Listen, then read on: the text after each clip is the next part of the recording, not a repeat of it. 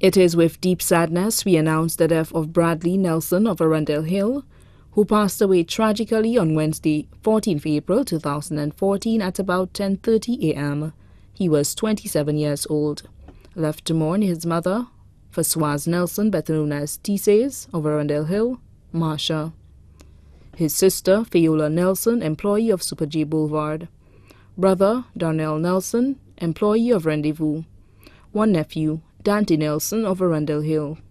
Three uncles, Calixtus Nelson of Market Road, Soufrière, Francis Nelson of Palmis Road, Soufrière, Cyprian Nelson of Rose Hill, Castries. One aunt, Valeria Nelson of Miami, Florida. Many cousins from Castries, Soufrière, and the USA. Many families both here and abroad. The funeral service for the late Bradley Nelson will be held on Wednesday, 30th April 2014 at the Sacred Heart Church, Marsha, at 10 a.m. Then the body will be laid to rest at the Choc Cemetery. The body now lies at the Rambali's Funeral Parlor, Kelvey Road. The family would like to mourn in private.